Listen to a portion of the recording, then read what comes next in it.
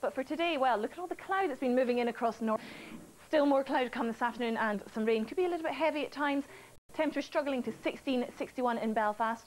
For Scotland, well, we had a fairly dry and bright start, but a little bit more cloud coming through, and I think still some showers affecting the Western Isles.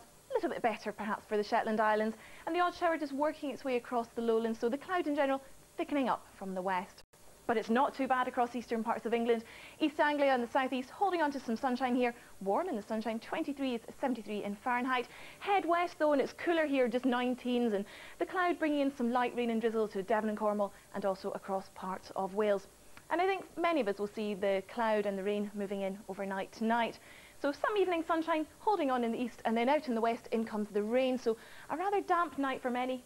Not great news if you are camping at Reading or Leeds overnight. And the showers tending to persist in particular across northern Scotland. But the temperatures, well, double figures for most of us, so certainly not as chilly as it was last night. Let's take a look then into tomorrow morning. You can see the showers continuing across northern Scotland.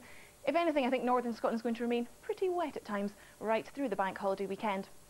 Elsewhere, well, it is going to be, I think, a greyer start than it was this morning, but equally it's not quite so chilly. So there will be a fair bit of cloud around, but hopefully dry across southern Scotland, northern England. The odd shower perhaps still lingering through the Midlands, East Anglia and the southeast.